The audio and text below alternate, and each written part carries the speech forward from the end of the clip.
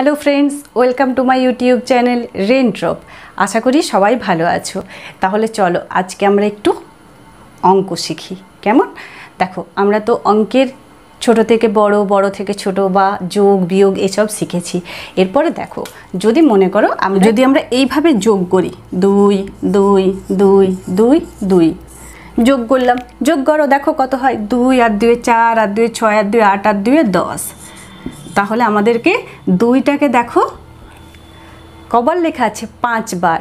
তাহলে পাঁচবার দুইকে আমরা যোগ করলাম, যদি কেউ এইভাবে করে, তাহলে সে কত পেল? দশ। আর দেখো, আমরা দুইকে যোগ করেছি। কতবার? পাঁচবার। তাহলে এখানে পাঁচ লিখলাম। কতবার? পাঁচবার। তাহলে এটাকে যদি আমরা ধরো, এটা কিসের চিহ্ন বলো তো? এই যে আমরা একটা চিহ্ন দিয়েছিলাম, এটা হলো যোগের চিহ্ন। আর এটা আমরা নামতা বলব। পাঁচের নামতা বলতে পারি দুই পর্যন্ত, বা দুইয়ের নামতা বলতে পারি পাঁচ পর্যন্ত। একই হবে, তাই না? আমরা তো নামতা শিখেছি। পাঁচ দুয়ে যা হয়, দুই পাঁচেও তাই হয়। তো চেষ্টা করবে সবসময় বড় সংখ্যার নামতা বলতে। তাতে করে কি হবে? সহজে আমরা তাড়াতাড়ি পেয়ে যাব। কারণ পরীক্ষা দিতে হয় না তোমাদেরকে। পরীক্ষার সময় সময়টা একটা ব্যাপার থাকে যে তোমাদের একটা নির্দিষ্ট সময়ের মধ্যে পরীক্ষার যে প্রশ্ন থাকে সেগুলো করতে হয়। তাহলে সেই পরীক্ষার সময়টাকে কিন্তু বাঁচানোর জন্য বা সঠিক সময়ে পরীক্ষাটা দেওয়ার জন্য কিন্তু আমাদের এইগুলোকে বলা হয় ছোট ছোট ট্রিক্স। এই ট্রিক্সগুলো কিন্তু জেনে রাখতে হবে। এবার দেখো, এই যে আমি দেখো এখানে একটা চিহ্ন দিলাম। এই চিহ্নটাকে কি বলে বলো তো? এই চিহ্নটাকে বলা হয় গুণ। তো আজকে আমরা শিখছি গুণ। তোমরা একটু মন দিয়ে পুরো ভিডিওটা দেখতে থাকো, কেমন? দেখো, তাহলে কি বললাম? তাহলে এখানে আমরা কি করব? পাঁচের নামটা বলব। কিন্তু তোমাদেরকে আমি দুটোই বলে দিচ্ছি, দেখো কি একই হয় কি না দেখে নাও। দেখো, পাঁচের নামটা যদি বলি, পাঁচ এক কে পাঁচ পাঁচ দুয়ে দশ। আবার দেখো, দুইয়ের নামটা বলো, পাঁচ পর্যন্ত। তোমরা নিজেরাই দেখবে কোনটাতে সময় বেশি লাগছে। দুই একে দুই দুই দুয়ে চার, দুই তিনে ছয়, দুই চারে আট, দুই পাঁচে দশ। দেখলে তো আমরা পাঁচের নামটা আর দুইয়ের নামটা যেটাই বলি না কেন, একই উত্তর পাবো। কিন্তু দেখো, সহজে হচ্ছে কোনটা? পাঁচের নামটা বললে, তাই তো? তাহলে দেখো, পাঁচ দুয়ে দশ। এরপরে বলো তো, কেন আমরা এতবার যোগ করার পরিবর্তে একবার গুণ করলে তাড়াতাড়ি পাচ্ছি? কারণ হলো অনেকবার যোগ করার পরিবর্তে যদি আমরা চটপট একবার গুণ করে নিই, তাহলে আমরা কিন্তু তাড়াতাড়ি উত্তরটা পেয়ে যাব এবং অনেক সহজে। দেখো, তোমাদেরকে একটা উদাহরণ দিই। মনে করো একটা জায়গায় পাঁচটা গাড়ি দাঁড়িয়ে আছে, ঠিক আছে? এবং প্রত্যেকটা গাড়িতে চারটে করে চাকা লাগানো আছে। সেই চারটে করে চাকা লাগানো পাঁচটা গাড়ি দাঁড়িয়ে আছে। এবার মনে করো যদি আমি তোমাকে জিজ্ঞাসা করি, তুমি ধরো গুণ জানো না বা দুজন দাঁড়িয়ে আছো। একজন গুণ জানে, একজন গুণ জানে না। কেমন? এবারে ধরো যদি তোমাদেরকে বলা হয় আচ্ছা বলো তো, এখানে মোট কটা চাকা আছে গাড়িগুলোতে, পাঁচটা গাড়িতে? তখন কি যে গুণ জানে না, সে কি করবে? চারটে চারটে, এরকম করে কি করবে দেখো? চারটে একটা গাড়ি, আরেকটা গাড়িতে চারটে, আরেকটা গাড়িতে চারটে, আরেকটা গাড়িতে চারটে, আরেকটা গাড়িতে চারটে। সে এতবার ভাববে, চারটে, চারটা, আটটা আট চারে বারোটা, চারে ষোলোটা, চারে কুড়িটা। তাহলে কুড়িটা চাকা হলো পাঁচটা গাড়ির। এ দেখো, একটা গাড়ি, দুটো গাড়ি, তিনটে গাড়ি, চারটে গাড়ি, পাঁচটা গাড়ির হিসেব করলাম। এরপর যে গুণ জানে, সে কি করবে? সহজে চারটে করে চাকা আছে বলা আছে, তাই না? কটা গাড়ির হিসেব করতে হবে? পাঁচটা। তো এখানে পাঁচ লিখে সে চটপট গুণ করে দেবে। তাহলে কত পেয়ে যাবে? চার পাঁচে কুড়ি। তাহলে যে বন্ধু গুণ জানে না, তার কিন্তু অনেকটা সময় লেগে যাবে এইভাবে করতে, তাই না? আর যে বন্ধু গুণ জানে, সে সহজেই বলে দেবে। এইভাবে আমরা কিন্তু কম সময়ে খুব তাড়াতাড়ি কিন্তু হিসেব করতে পারি এইভাবে। এবারে মনে করো, যদি সেখানে পাঁচটা গাড়ির জায়গায় পঞ্চাশটা গাড়ি দাঁড় করানো থাকতো, তাহলে কি হতো? তাহলে দেখো আমাদের যদি চার চার চার করে পঞ্চাশ বার যোগ করতে হতো, সেটা কি সম্ভব? সম্ভব নয়, তাই তো? কিন্তু পঞ্চাশকে যদি আমরা চার দিয়ে গুণ করে দিই, তাহলে সেটা কিন্তু তাড়াতাড়ি হয়ে যাবে, তাই তো? আমরা সহজে করতে পারব, তাড়াতাড়ি হবে। এই জন্য যখনই দেখবে অনেকবার যোগ করতে হচ্ছে কোনো একটা জিনিস, তখন অনেকবার যোগ না করে একবার গুণ করে নেবে। আরেকটা তোমাদেরকে উদাহরণ দিই। মনে করো, দশটা গাছ আছে, ঠিক আছে? এবারে দশটা গাছে তুমি দেখছ দুটো করে আম ধরে আছে, ঠিক আছে? এবারে দশটা গাছে যদি দুটো করে আম ধরে থাকে তাহলে মোট কটা গাছ আছে? দশটা গাছ আছে। প্রত্যেকটা গাছে কটা করে আম আছে? দুটো করে। এবারে তুমি কি করবে? দুটো দুটো দুটো দুটো করে কি দশবার তুমি যোগ করে করে দেখবে? সেটা তো দেখবে না। প্রত্যেকটা গাছে কিন্তু দুটো করে আম ধরে আছে। এরপর তাহলে দশটা গাছে কটা আম হবে? আমরা চটপট কি করব? দশকে দুই দিয়ে গুণ করে দেব। তাহলে দেখো আমরা কত তাড়াতাড়ি পেয়ে যাব। দশ দুয়ে কুড়ি। আর তুমি দুই যদি দশবার যোগও করো, তাহলেও কিন্তু পাবে কুড়ি। কি বুঝতে পারলে তো আমরা কখন গুণ করি? যখন অনেকবার যোগ করতে হবে দেখি, তাহলে সেখানে আমরা অনেকবার যোগ করার পরিবর্তে একবার চটপট গুণ করে নেব। তাহলেই আমরা পেয়ে যাব সহজে কম সময়ে একেবারে সঠিক উত্তর। এবং গুণের চিহ্ন হলো এই রকম। এই যে কাঠ চিহ্ন দেখবে তোমরা কোনো কিছু ভুল হলে দেখবে মিসরা এরকম পাশে একটা চিহ্ন দেয়। তো সেই চিহ্নের মতোই কিন্তু গুণ চিহ্ন। এটাই হলো গুণ চিহ্ন। এগুলো একটু হেলানো। এইভাবে। আর যোগ হলো, দেখবে এরকম সোজা আর এদিকে সোজা থাকে। এটা হলো যোগ। এই যোগেরই সংক্ষিপ্ত রূপ হলো গুণ। অনেক সময় তোমাদের কিন্তু এই প্রশ্নটাও থাকে।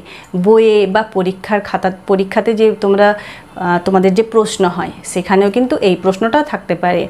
যে বারবার যোগের পরিবর্তে ড্যাশ করা হয়। ঠিক আছে? কি করা হয় বললাম? গুণ করা হয়। বা লেখা থাকতে পারে, যোগের সংক্ষিপ্ত রূপ হলো ড্যাশ। ওখানে একটা ফাঁকা জায়গা থাকল তোমাদের সেখানে লিখতে হবে যোগের সংক্ষিপ্ত রূপ হলো, কি লিখব? গুণ। কেমন? তাহলে বুঝতে পারলে যে গুণ আমরা কখন করব? চলো, আমরা কয়েকটা সহজ গুণ আজকে একটু করে নিই। আর কিন্তু অনেকবার যোগ করবে না আজকের পর। কেমন? যখন দেখবে অনেকবার যোগ করতে হচ্ছে, চট করে একবার গুণ করে দেবে। তাহলে দেখবে তুমি সবাইকে চমকে দিতে পারবে তাড়াতাড়ি উত্তর বলে দিয়ে। ঠিক আছে? চলো দেখে নিই কয়েকটা সহজ গুণ। তাহলে চলো, আজকে আমরা এক অঙ্কের কিছু গুণ করে নিই। আচ্ছা দেখো, এখানে আমি বেশ কয়েকটা গুণ তোমাদের জন্য লিখে রেখেছি। এখানে দেখো, আমরা দুটি সংখ্যাকে এইভাবে ওপরে, নিচে বা পাশাপাশি লিখেও কিন্তু গুণ করা যায়। এইভাবেও লিখতে পারো বা এটাকে তোমরা এইভাবেও লিখতে পারো। বোঝা গেল নিশ্চয়ই? এরপরে দেখো, প্রথমে যে সংখ্যাটা থাকে, যে সংখ্যাটাকে গুণ করা হয়, যে সংখ্যাটাকে গুণ করা হয়, এই সংখ্যাটার একটা নাম আছে। এটাকে কি বলে বা যে সংখ্যাটাকে গুণ করা হয় সেটাকে বলা হয় গুণ্য গয়রস্যু মূর্ধন্যয় জফলা। যে সংখ্যাটাকে গুণ করা হয়, এটা হলো গুণ্য। যদি তোমাদেরকে এরকম একটা গুণ দেয়, বলে এখানে গুণ্য কত? তখন তোমাদেরকে বলতে হবে গুণ্য হলো পাঁচ। ঠিক আছে? আর যে সংখ্যাটা দিয়ে গুণ করা হয়, এই যে এই যে, এই সংখ্যা, এটাকে বলা হয় গুণক। গুণ করা হয় যে সংখ্যাটা দিয়ে সেটাকে বলা হয় গুণক, গয়রস্য মূর্ধন্য কো। ঠিক আছে? তাহলে এটা হলো গুণক, এরপরে গুণ্য এবং গুণক যখন গুণ করা হয়, গুণ করলে আমরা এখানে একটা পাবো সংখ্যা। সেখানে যে সংখ্যাটা পাওয়া যায়, গুণ করে যে সংখ্যাটা পাওয়া যায়, তাকে বলা হয় গুণফল। কি? বুঝতে পেরেছ? যেটা কে গুণ করা হয় তাকে বলে গুণ্য। যে সংখ্যাটা দিয়ে গুণ করা হয় তাকে বলা হয় গুণক। গুণ্য এবং গুণক গুণ করে যেটা পাওয়া যায় সেটাকে বলে গুণফল। এবং দেখো, তোমরা তো নামটা শিখে গেছো। তাহলে গুণ করতে গেলে কিন্তু নামতাটা ভীষণভাবে দরকার। তো চলো, আজকে আমরা এক অঙ্কের বেশ কিছু সংখ্যার গুণ করে নিই এবং কীভাবে আমরা নামতা বলব, কীভাবে আমরা লিখব সেটা দেখে নিই। একটু মন দিয়ে দেখো, ভীষণই সোজা। দেখলেই তোমরা বলবে, ও, এতটাই সোজা? হ্যাঁ ভীষণই সোজা। অঙ্ক জিনিসটাই সোজা। ঠিক আছে, দেখো, এখানে আমরা কি করব? এখানে দেখো, যে দুটি সংখ্যা আছে, আমরা আগে ভালো করে লক্ষ্য করব। যে গুণ্য এবং গুণক, কি আছে? পাঁচ আছে এবং তিন আছে। আগেই বললাম, তোমরা যে কোনো একটা সংখ্যার নামটা বলতে পারো, পাঁচের নামটাও বলতে পারো, তিনের নামটাও বলতে পারো, কিন্তু কোনটা তোমরা বলবে?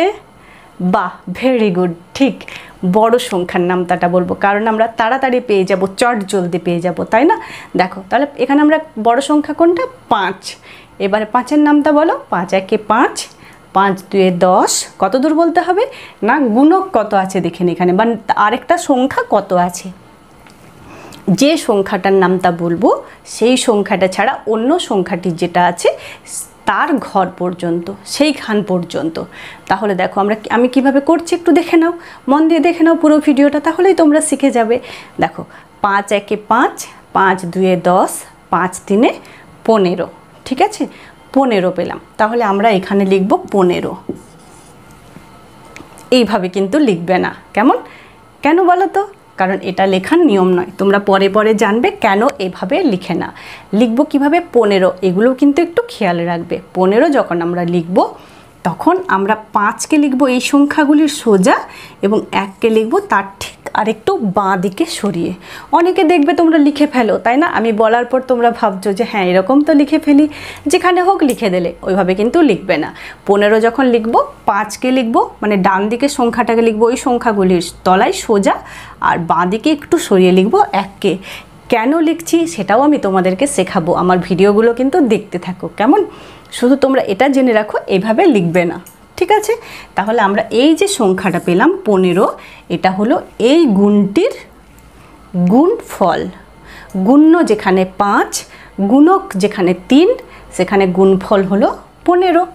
ঠিক আছে? চলো, পরের গুণ দেখি। দেখো, এখানে গুণ্য ছয়, গুণক দুই। তাহলে নামটা বলব আমরা ছয়ের। ঠিক আছে? ছয়ের নামটা বলো, ছয় এককে ছয় ছয় দুয়ে বারো।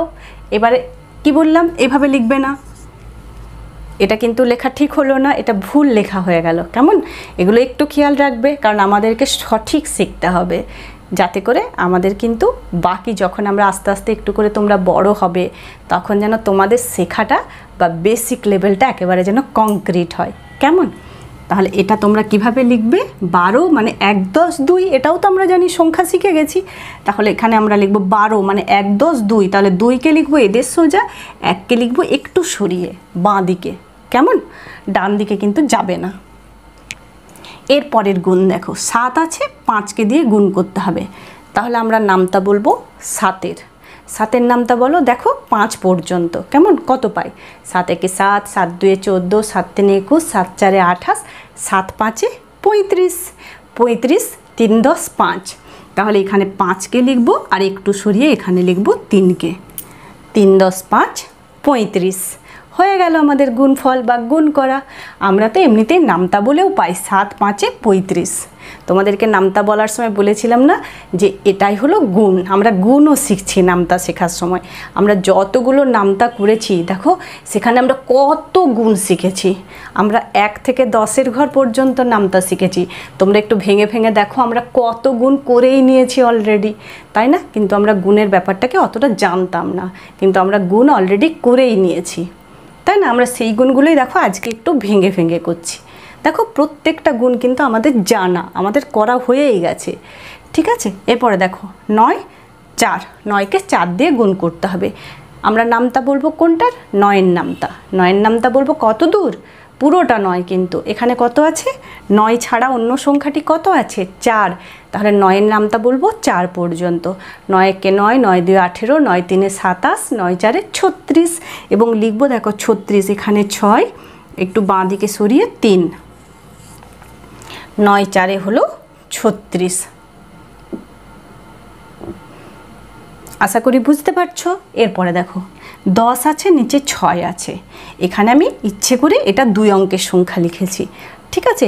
তো কোনো ব্যাপার নেই, আমরা তো দশের নামটা জেনে গেছি। দশের নামটা বলে দাও। দশ একে দশ দশ দুই কুড়ি, দশ তিনে তিরিশ, দশ চারে চল্লিশ, দশ পাঁচে পঞ্চাশ, দশ ছয়ে ষাট। হয়ে গেল। ষাট এখানে শূন্য, এই যে এই সংখ্যার নিচে শূন্য, আর এখানে একের নিচে লিখব ছয়। এখানে তো দুটো সংখ্যা উপরে আছে, দুটো সংখ্যা সমান সমান দুটো সংখ্যা লিখব। ঠিক আছে? এরপরে দেখো, চারকে গুণ করতে হবে আট দিয়ে। তো চারের নামটা বললেও হবে, আটের নামটা বললেও হবে। আমরা বলব কিন্তু ঠিক বলেছ, আটের নামটা তো চটপট বলে ফেলো, আটে কে আট? আট দিয়ে ষোলো, আট তিনে চব্বিশ, আট চারে বত্রিশ। তো বত্রিশ এখানে লিখে ফেলো, এখানে দুই, এখানে একটু সরিয়ে বাঁদিকে সরিয়ে তিন। এবার দেখো, কেউ যদি চারের নামটা বলে, তার কিন্তু ভুল হবে না। চার একে চার চার দুই আট, চার তিনে বারো, চার চারে ষোলো, চার পাঁচে কুড়ি, চার ছয় চব্বিশ, চার সাতে আঠাশ, চার আটটে বত্রিশ। দেখছ? আমরা একই উত্তর পাবো। কিন্তু কি? সময়টা একটু বেশি লাগবে, তাই না? সেই জন্য আমরা সবসময় বড় সংখ্যার নামটাই বলব বা বড় সংখ্যাটা দিয়েই আমরা হিসেব করব। ঠিক আছে? তাহলে তোমরা বুঝে গেলে। এইভাবে তোমরা যে কোনো গুণ করতে পারো। এরপরে তোমরা নামতাগুলো আরেকবার দেখবে। দেখবে সেখানে আমরা কত গুণ অলরেডি করেই নিয়েছি। তাই না? তো ফ্রেন্ডস আজকের ভিডিওটা কি তোমাদের ভালো লাগল? যদি ভালো লাগল অবশ্যই লাইক করো এবং সেই সঙ্গে বন্ধুদের সাথে শেয়ার করে দাও। আর হ্যাঁ আমার চ্যানেলটিকে সাবস্ক্রাইব করে রাখো। কারণ এর পরে পরে আমরা ভাগ শিখব। আরও অনেক অনেক অঙ্ক শিখব। হ্যাঁ শুধু অঙ্ক নয় সমস্ত সাবজেক্ট শিখব। এইরকমভাবেই মজা করে এবং সুন্দরভাবে তোমরা একই চ্যানেলে পেয়ে যাবে পড়াশোনা সমস্ত কিছু। তো এইভাবে আমার সাথে থেকো, ভালো থেকো। আজ এই পর্যন্তই। টাটা।